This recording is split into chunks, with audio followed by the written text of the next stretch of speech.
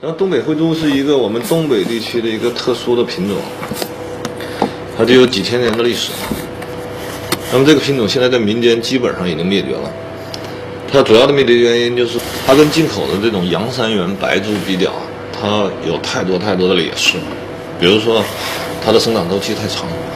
嗯，普通猪肉一般是四个月左右出来了，那么它呢，得一年以上。像我们第一批的饲养都在十三个月以上，它生产周期长，呃，它耗料比高，它成本一定会很高，这是一。第二，它呢形体也不好。那么，洋三元进口是针对大陆市场，消费者比较比较喜欢瘦肉。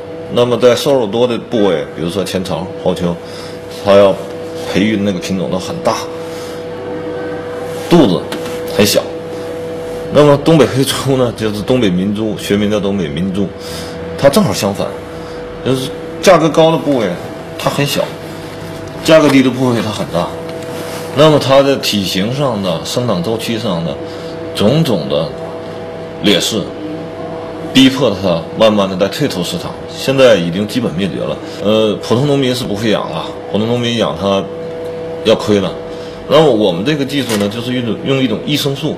活的有益菌来替代那些这些药物，黑猪呢就是这么养出来的，它的全程都是不用药的，用这种有益菌，也就是学名的益生素来饲喂它，就保证它的药物残留是零。